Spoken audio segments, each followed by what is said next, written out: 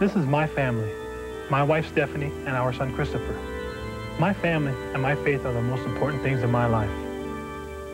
I'm Ron Rivera of the Chicago Bears, and I know how important the family and family values are to the Hispanic community. That's why I belong to an organization called the United Way, Via Unidas. United Way extends us all a chance to volunteer to work together to solve our problems and provide opportunities for our children and our families. United Way works in big cities like Chicago and in small communities like the one I grew up in in California. You'll find it working in your community, wherever you live. United Way is there helping people to help themselves. As a United Way volunteer, I have worked to provide public service announcements both in Spanish and in English to help minority families. In America, we have many precious freedoms, and among them is the freedom to join together to give to organizations like the United Way. When you give, you bring out the best in you. And United Way, it brings out the best in all of us. This message furnished by the National Football League.